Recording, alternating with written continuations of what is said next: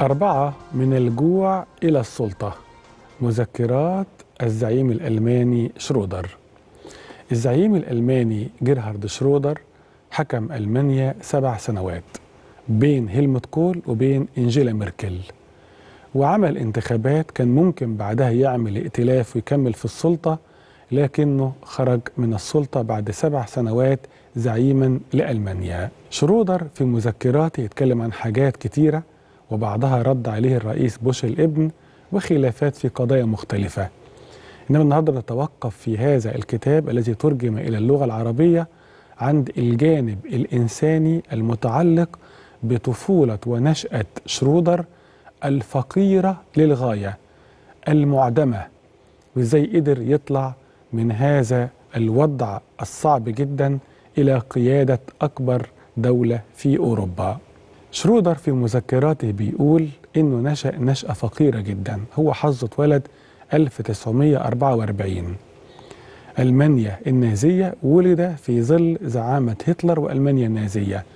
بعد سنة اتهزمت ألمانيا واتقسمت ألمانيا بقى كل السنين الصعبة في ألمانيا بعد الحرب العالمية الثانية من المشاهد اللي بيقولها بيقول إن هم كانوا قاعدين الأسرة بتاعتهم سواء والدته أو زوج والدته أو هم من يعني أبوين مختلفين قاعدين خمسة مع الزوج والزوجة سبعة قاعدين في بيت صغير جدا جدا شقة صغيرة جدا جدا من غرفتين.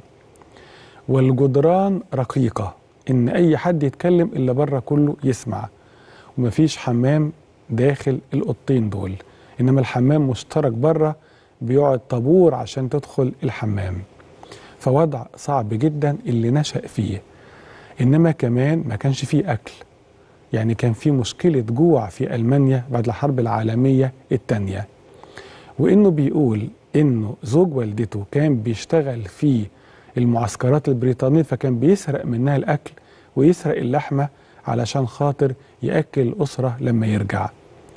وبيقول إن في واحد في العيلة كان بيجي بقى بموتوسيكل ويوصل لغاية عندهم يزورهم ويرجع ده بالنسبة لهم إيلون ماسك العيلة ده الملياردير اللي موجود لأن عنده دراجة بخارية بيقدر يركبها ويوصل بقى لغاية عندهم ويغادر بعد ذلك. فبيقول ده كان مقامه كبير واحترام كبير جدا ده الغني اللي إحنا شفناه في الطفولة. أيضا شرودر بيقول إنه كان طول وجودهم في البيت أو في الشقة الصغيرة دي والزحام اللي موجودين فيه والوضع الصعب جدا اللي عايش فيه فبيقول إنه أول ما الصبح يجي ده أفضل خبر إنه أخيرا هيفر من هذه الشقة ومن هذا البيت اللي الحياة فيه لا تحتمل. بيقول كمان إنه كان بيحب يشوف كأس العالم فلما راح يشوف كأس العالم أثناء الطفولة فراح على قهوة في قرية بعيدة البلد اللي هو فيها أو المكان اللي فيه ما فيهوش قهوة عليها الماتش.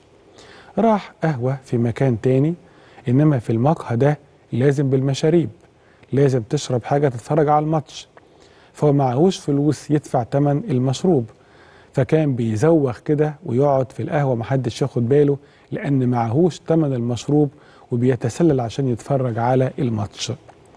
مشاهد كتيرة جدا من الجوع والفقر والضياع والأسرة اللي هي زحمة في مكان قد كده الحمام اللي بعيد جدا لازم يقفوا طابور على ما يجي دورهم في الحمام.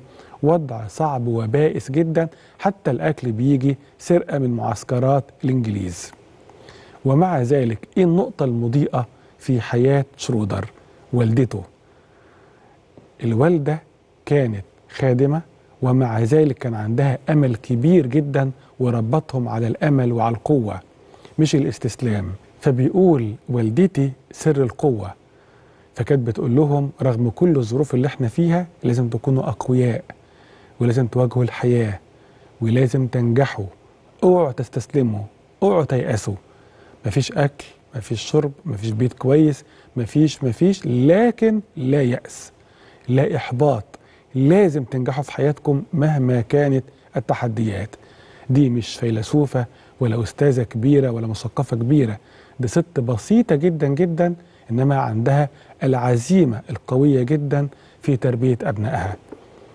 بالأم ونصائح الأم انتقل شرودر من أسرة معدمة لا تجد طعام يومها ولا السكن اللائق ولا حتى مشاريب الماتش في القهوة لا شيء إلى زعيما لألمانيا لمدة سبع سنوات. شكرا لحضراتكم وإلى حلقة جديدة من برنامج الطبعة الأولى.